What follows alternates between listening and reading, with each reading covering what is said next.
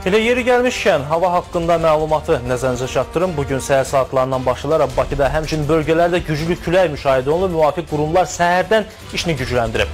Bugün ən güclü külək Sumqayıtda əsib. Son məlumatlara görə burada şimal-qərb küləyinin sürəti saniyədə 34 metrə çatıb.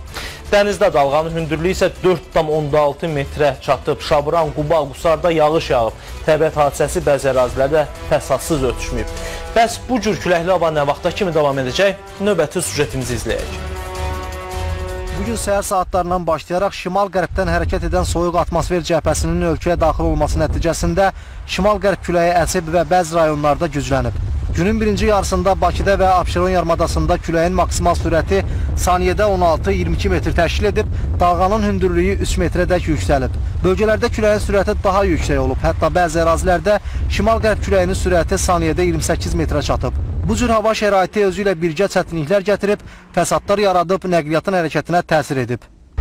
Güclü külək Bakı Ələt yolunda nəqliyyatın hərəkətində çətinliklər yaradır. Belə ki, yola dağılan qatı toz dumanı səbəbindən nəqliyyat vasitələrinin sürücüləri bir-birlərini görməkdə çətinlik çəkir.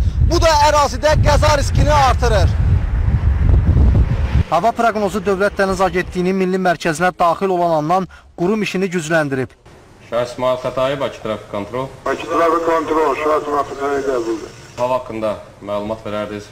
Küləyin gücü 23-25, parı 28, dalğanın hündürlüyü 4 metr. Gəmi sahibləri, liman kapitanları, eləcə də nəzarət müfəttişləri müvafiq tədbirlərin həyata keçirilməsi və xidmətin gücləndirilməsi ilə bağlı təlimatlandırılıb. Gəmilərin idarəetmə xidməti ərazisində lövbərdə duran və hərəkətdə olan gəmilərə Navtex və digər hava avadanlıqları vasitəsilə məlumatlar ötürülüb. Qeyd eləmək istəyirəm ki, gəmilərin lövbər sığınacaqlarında yan alması problemsiz olaraq həyata keçirilib və təmin edilibdir.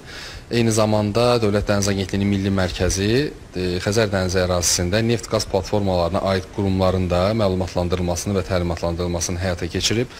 İstehlakçılara xəbərdarlıq edən Azərişıq Açıq Səhmdar Cəmiyyətindən bildirilib ki, paytaxtda və bölgələrdə elektrik enerjisi kəsintisinin və qəza hallarının qarşısını almaq üçün qurum önləyici tədbirlər görür. Küləyin təsiri nəticəsində ağacların aşaraq insanların şəxsi təsərrüfatı və mülklərinə ziyan vurduğunu nəzərə alsaq, vətəndaşlar da ehtiyatlı olmalıdır. Bakı Şəhəri İcra Hakimiyyətinin Yaşıllaşdırma Təsərrüfatı Birliyi vətəndaşlara avtomobillərini ağacların altında saxlamamağı tövsiyə edir. Güclü küləyin nə vaxta qədər davam edəcəyinə gəlincə isə Gecə saatlarından başlayaraq küləyin sürəti bir qədər azalacaq. Artıq səhər saatlarında ayın 8-də səhər külək mülayimləşəcək və cənub-şərq küləyi ilə əvəz olunacaq. Lakin yaxın günlər ərzində belə deyək, hava şəraiti bir qədər qeyri-sabit və küləkli olacaq. Umayra Tağıyeva onu da bildirdi ki, oktyabrın 9-u gün orta saatlarından başlayaraq Bakıda və Abşeron yarımadasında yenidən şimal-qərb küləyinin güclənməsi proqnozlaşdırılır. Gündüz Vaqifoğlu, Nərmin Kərim, Rüyal Muğanoğlu, bir xəbər.